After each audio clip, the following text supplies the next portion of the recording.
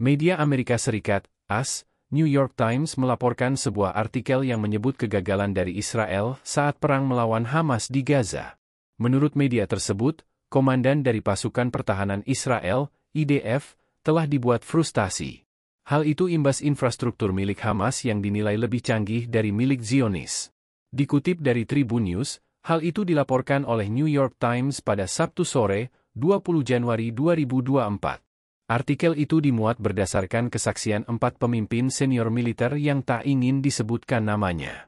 Sebab, mereka tidak diizinkan untuk berbicara secara terbuka tentara pribadi mereka.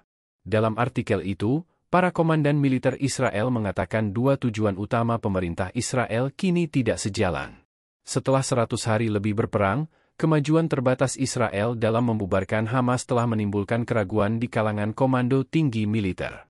Selain itu, Selama 100 hari perang, Israel disebut hanya bisa menguasai sebagian kecil wilayah Gaza, jauh dari rencana Zionis sejak awal perang.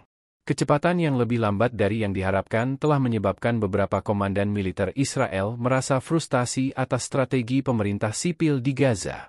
Selain itu, Gadi Eisenkot, Mantan Kepala Staf Militer Israel dan anggota Kabinet Perang mengatakan hal yang mengejutkan dalam sebuah wawancara dengan Channel 12. Ia mengatakan bahwa infrastruktur Hamas lebih canggih daripada yang diperkirakan sebelumnya oleh para perwira intelijen Israel. Eisenkot pun kini menyebut tujuan Israel untuk melakukan penghancuran total jaringan terowongan Hamas tidak berhasil dilakukan.